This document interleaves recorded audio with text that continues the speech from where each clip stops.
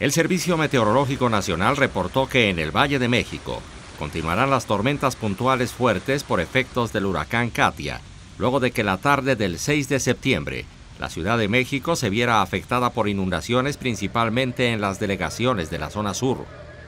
Brigadas de trabajadores tanto de Tlalpan como de Xochimilco lograron liberar los carriles centrales de anillo periférico a la altura de la glorieta de Vaqueritos, donde recolectaron 455 toneladas de lodo y bombearon miles de litros de agua para restablecer el tránsito en la zona a causa de las precipitaciones.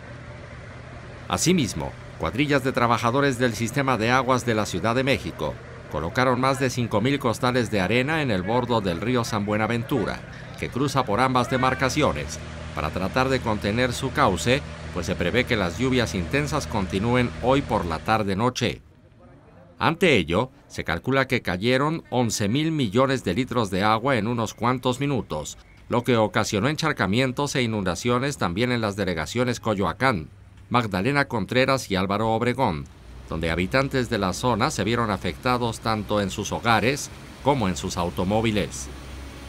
Durante la mañana de este jueves, vecinos afectados en la delegación Xochimilco limpiaban y removían los escombros que quedaron tras las inundaciones que alcanzaron casi un metro de altura.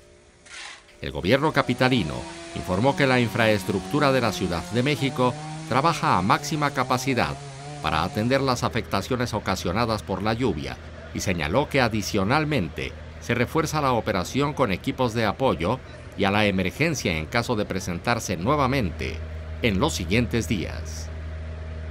Notimex